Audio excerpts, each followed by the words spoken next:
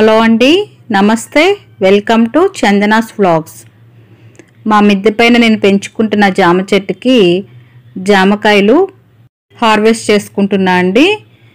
ఈ కాయలు రెడీ అయినాయి. చాలా వరకు ఈ గాలి వానలకి రాలిపోతున్నాయండి కాయలు. రాలిపోయినా ఎక్కడ పడిపోవు మిద్దె పైనే ఉంటాయి. ఈ నోరూరించే జామను చూస్తుంటే చాలా ఆనందంగా ఉంటుందండి. నేను ఆల్రెడీ ఈ చెట్టు నుంచి నాలుగు కాయల వరకు హార్వెస్ట్ చేసుకొని ఇంతకు ముందు నేను తిన్నాను. చాలా టేస్టీగా ఉన్నాయండి.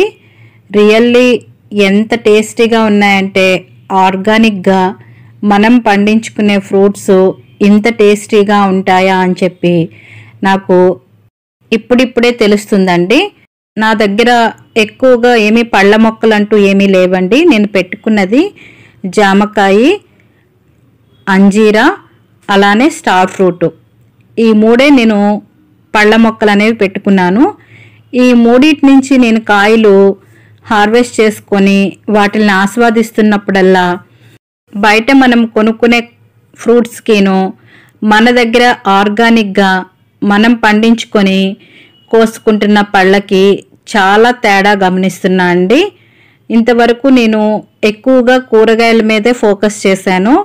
నాకు చాలా తక్కువ ప్లేస్ ఉంది కాబట్టి కూరగాయ మొక్కలు ఆకుకూర మొక్కలు.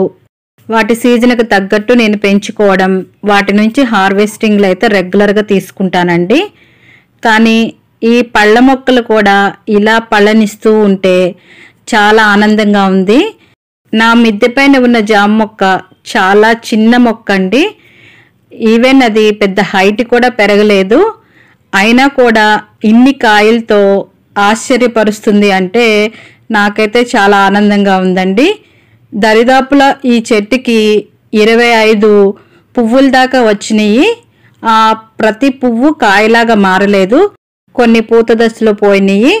తర్వాత కొన్ని పిందిలుగా మారి మొత్తానికి నాకు ఈ చెట్టు నుండి పిందిలుగా మారిన జాంకాయలు ఇరవై ఒక్కటి వరకు రెడీ అయినాయండి. దానిలో సైజులో కొన్ని పెద్దగా ఉన్నాయి కొన్ని చిన్నగా ఉన్నాయి. సైజులో అయితే డిఫరెన్సెస్ ఉన్నాయండి.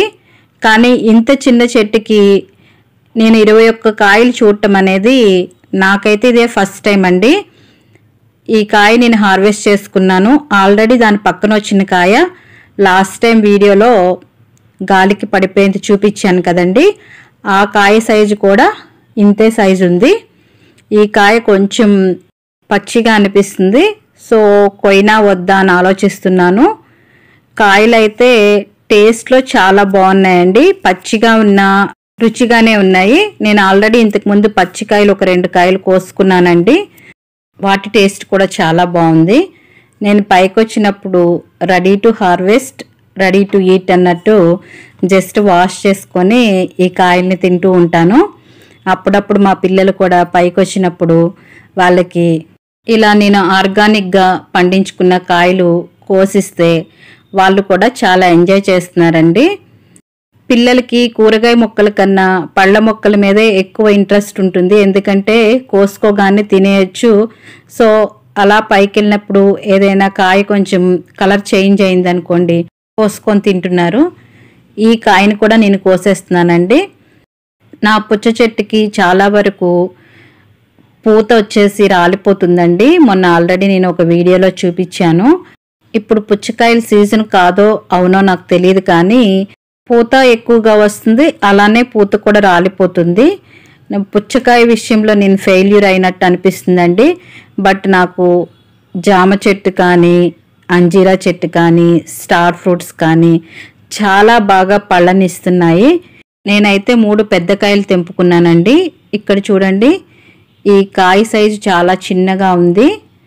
అయినా పండిపోయింది ఈ కాయ రాలిపోయింది ఈ కొమ్మ నుంచి రాలినట్టుంది. ఈ జామ చెట్టు ఒక పక్కకి ఒరిగిపోయినట్టుంది కదండి. మేబీ నేను పెట్టినప్పుడు ఏమైనా రాంగ్ డైరెక్షన్లో పెట్టానో మరేమో. నేను ఎప్పుడు కంటైనర్కి మిడిల్లోనే పెడతానండి మొక్కని. మేబీ గాలికైనా కూడా అది స్ట్రాంగ్ అవ్వకుండా ఏమైనా ఒరిగిందేమో నేను అప్పుడు అబ్జర్వ్ చేసుకోవాలా. ఇప్పుడు పెరిగే కొలది నాకు తెలుస్తుంది. మొత్తం ఒకవైపుకి చెట్టు అంతా ఒరిగిపోయినట్టు. ఎనీవే చెట్టు అయితే హెల్దీగానే ఉంది కాబట్టి నాకు కాయలనైతే ఇస్తుందండి. ఇవాళ నేను హార్వెస్ట్ చేసుకున్న జాంకాయలు ఇవి. మూడు పెద్ద కాయలు ఒక చిన్న కాయ. చాలా బాగున్నాయి కదండి. ఆర్గానిక్గా మన ఫుడ్ని మనమే గ్రో చేసుకున్నాం కదండి. ఓకే అండి. మీరు కూడా మీ మిద్దె పైన జామ చెట్టుని పెంచుకోండి వాటి ఫ్రూట్స్ని ఎంజాయ్ చేయండి. మీకు కనుక ఈ వీడియో యూస్ఫుల్ అనిపిస్తే లైక్ చేయండి షేర్ చేయండి అండ్ కామెంట్ చేయండి. మీరు కనుక ఫస్ట్ టైం నా వీడియో చూస్తుంటే please do subscribe my channel. అలానే నా లేటెస్ట్ వీడియోస్ నోటిఫికేషన్స్ కోసం పక్కనే ఉన్న బెల్ ఐకాన్ని కూడా యాక్టివేట్ చేసుకోండి. ఓకే అండి థ్యాంక్ యూ.